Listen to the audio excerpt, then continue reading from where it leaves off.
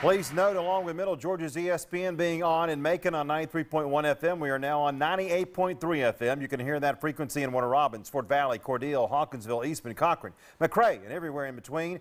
Join us for Sports Talk, the Bill Shanks Show, every weekday at 3. We're also the home of the Braves, Falcons, Hawks, and Georgia Southern. Middle Georgia's ESPN 93.1 and 98.3 FM.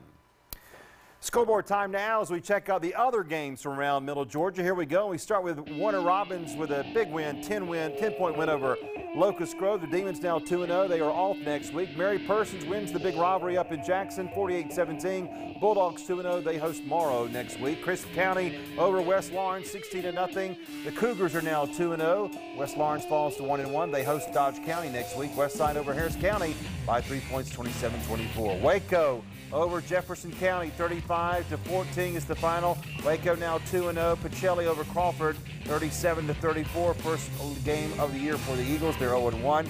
Dooly County over Worth County, 33-21. Also GMC, the Bulldogs over Oglethorpe, 35-7. Mount DeSales 2-0. They win over Landmark Christian in Fairburn, 33-14. And Savannah Country Day over Stratford, 21-7. Don't forget tomorrow at Mercer, the third annual Macon Touchdown Club Middle Georgia Kickoff Classic. Tattnall at Dublin and Peach County and Northside should be a great game. Also tonight, John Milledge beat Gatewood 45-7 and Ace Academy beat Notre Dame 27 to nothing. That is our show for this Friday night. Thank you for joining us, and we'll hope you'll come back next week for more high school football highlights.